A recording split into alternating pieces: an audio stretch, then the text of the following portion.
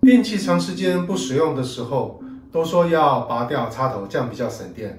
但是你知道吗？电器如果长时间不使用，又拔掉插头的时候，反而会让这个电器它的寿命缩短，甚至有损坏的可能。但是不用紧张，这支影片就是要告诉你要怎么做，才能够让电器不会受到损伤，或是缩短了它的寿命。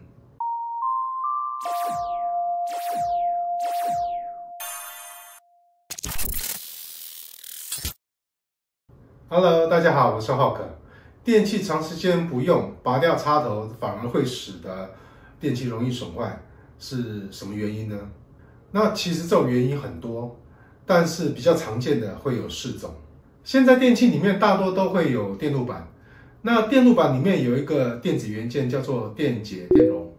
那电解电容这种元件，如果长时间不使用的时候，它的化学活性还有耐压会。降低甚至是失效，当然电器也就变得不能用了。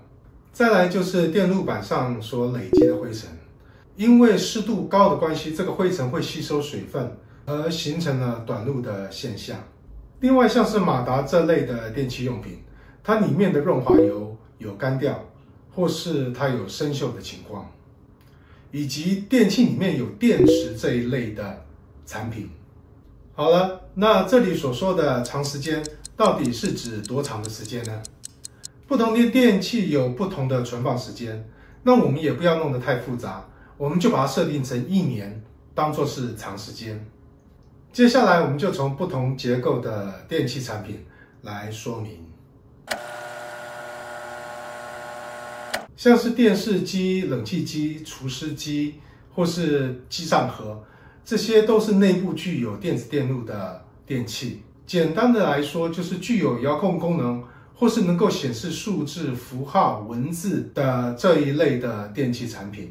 这类的电器产品，如果拔插头要长时间存放的话，那最好每三到六个月再重新把它插上电源，然后开机运转呃半个小时到一个小时，这样就可以使电器不至于缩短了寿命。或是损坏，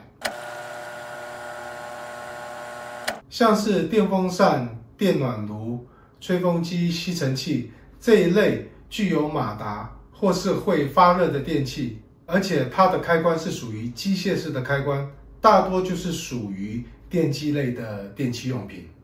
这里说明一下机械式的开关，机械式的开关就是按下去的时候会有咔一声，而且那个手感距离会比较长。那可以去看一下我这支影片，它里面对于机械式开关有比较详细的说明。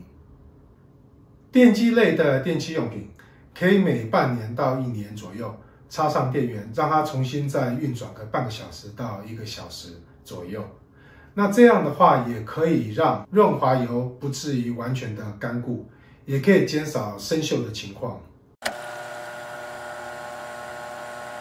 电池如果长时间不使用的话，它会透过内部的电路慢慢的放电。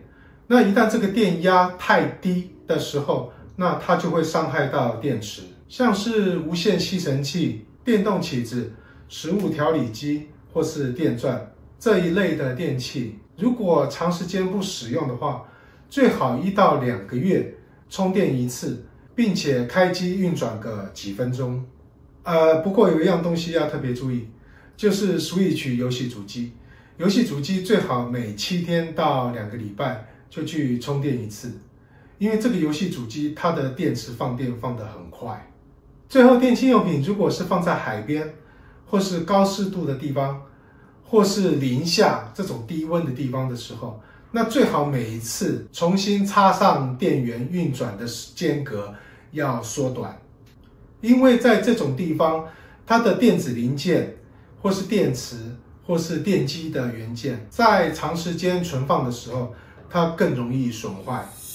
好了，这次的分享就到这里了。如果你觉得这次的分享对你有所帮助的话，请不妨帮我按个赞，点个订阅，谢谢。